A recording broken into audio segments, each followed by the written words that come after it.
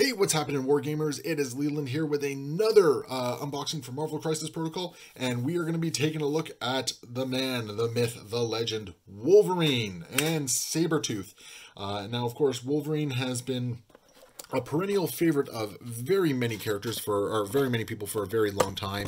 He is, uh, he is literally the best at what he does, and what he does is not very nice, if the, uh, the quote were to be, to be taken seriously there. And, uh, you know, we're going to see how he kind of shapes up in-game. This is tough plastic on this one. There we go. So we are going to take a look at them. Uh, both models, right off the bat, I'm, I'm liking the poses here. I like uh, Wolverine has sort of that come-at-me pose, and I like Sabretooth. It looks like he's striking in. Uh, and the two of them together look like they, they go together, which is really nice. So let's get everything out of here. All right. So as usual, I'm not going to worry about the, the instruction manual. We, we all know what that looks like. So we'll take the models out of the way here, and we're going to crack right into right into the uh, the contents.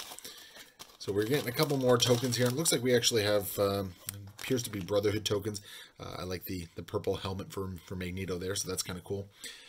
Uh, and let's see, what do we got here? So we have the Weapon X program. So for Wolverine or Sabretooth, it is 3 power, and you basically throw the character. So that is a way of getting them some uh, additional uh, some additional distance there with a short for 3 power. Anytime you can move them out of activation, that's fantastic. We got Exceptional Healing. Uh, so this one is you spend 3 and reduce the amount of damage suffered to 1. So if you happen to take a really big attack, say from Strange or Thanos or something like that, you know, this, this can save your bacon.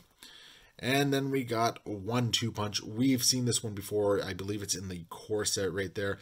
Basically, uh, basically you're just adding some attack dice for one power. Uh, so really solid.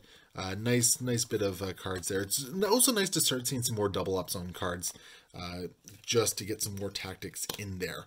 Uh, I don't think there's any rules about taking the same tactic card twice, but I'd have to look into that. So let's take a look at Sabretooth first. So we got six uh, six health, we got four threat, threes across the board. Uh, his basic strike ability right there causes bleed on a wild, which is nice. He also has pierce uh, on one wild, so that's actually quite effective. So that, that's quite nice, and five damage at that. Uh, Savage Predator for uh, four energy, seven damage, and he's got on a uh, hit and a wild.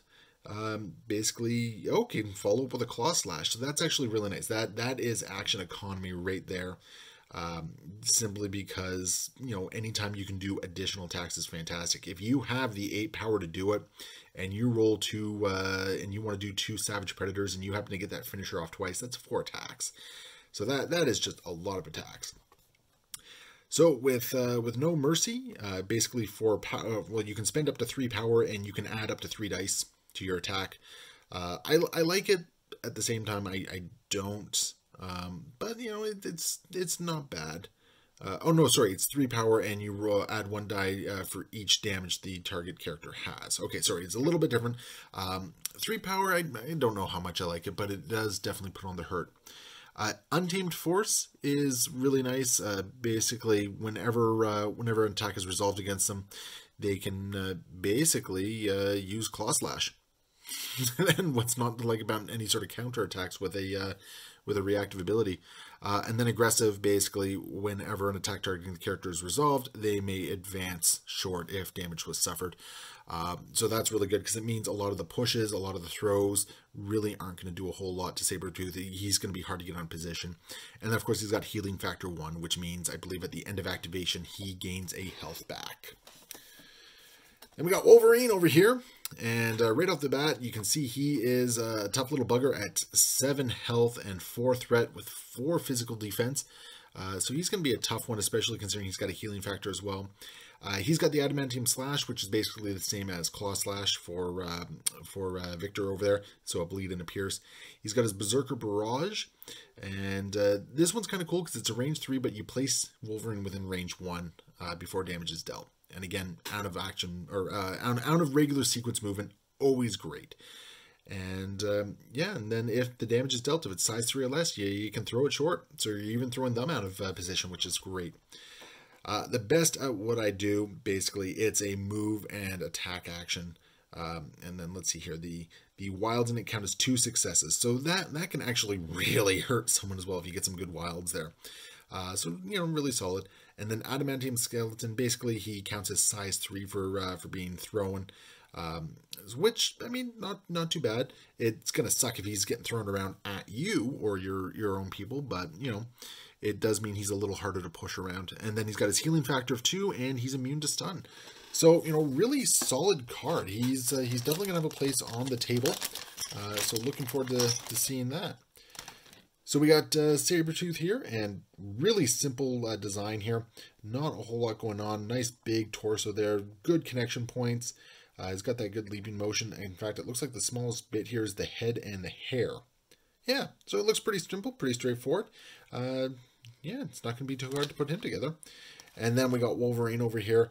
And thankfully, there was a lot of jokes that the, each claw was going to be its own piece. Uh, but thankfully, that is not the case. Uh, it does look like we have a couple of head options, much like uh, with um, with Cyclops. Uh, once again, I don't know what I'm going to do. Probably the probably the masked one, just because that is the classic look. Uh, but aside from that, very simple, very easy to build. So as usual, we are going to take a quick break, get these put together, and uh, take a look at it in a little bit. So be right back. And we're back with Wolverine and Sabretooth, and we got them uh, both assembled and painted up. So we're just going to start with Sabretooth right here. And uh, just in general, the model was super easy to put together. There wasn't really a lot of pieces. The um, the most complex piece was honestly just putting his little uh, bit of hair on his head there. Otherwise, he was extremely easy to assemble and put together. And honestly, he took the colors extremely well as well. Now, of course, like going in on the details, you can see where some, there's some flaws there. One thing I've noticed with the X-Men Brotherhood so far is that there's a couple more gaps uh, than I than I'm used to seeing on a lot of the models that they've brought out these days. It's not a huge issue, but I'm just it's a weird little thing that I'm starting to notice. Um, but anyway, I really dig Sabretooth. His contact point is nice and solid. His pose is good and menacing. Actually, I think I see a little bit of yellow there that I gotta fix on his hand. Um, and just in general, he is he's a great model. Um, I, I, have to admit, he's very much growing on me as far as uh, as far as models for the game go. Uh, but anyway, we have a second model here, and we are going to take a look at Wolverine. And as you can see, I opted to paint him up in the uh, the brown costume uh, that he was seen, I believe, in one of uh, one of his earlier or the earlier uh, stints of him. And um, one of the downsides is is they molded in the tiger stripes on him and unfortunately because of the what the way I wanted to go with his costume those stripes are still kind of there. I've seen other people do the same thing but like painting the stripes brown. I opted not to do that personally. Uh, but anyway I still really like his pose. Um, one thing to note is in the instructions they did mess up uh, which hand goes on which arm. So just pay attention to that. I think it's like six and eight were swapped. Um, so if you're building Wolverine yourself, just keep that in mind. Uh, the other thing I'm a little upset about is he does suffer from some of the uh, some mold lines, or not mold lines, um, uh, gaps. As you can see there, he's got a little bit of an ass crack. Uh, but otherwise, you know, I, I really dig the model for Wolverine. I think he turned uh, turned out really well. He was an absolute joy to paint, uh, and I, I really enjoyed it. And yeah, very easy, very easy to assemble, and uh, yeah, just in general, great model. As you can see, I also chose the uh, the masked version. So anyway, that is Sabretooth and Wolverine. Two great models. Uh, definitely worth uh, taking a look at and grabbing for Marvel Crisis Protocol. Uh, you can look forward to seeing these in a couple battle reports coming soon. Uh, but anyway, thank you so much for watching, and as always, leave your comments below, and happy wargaming.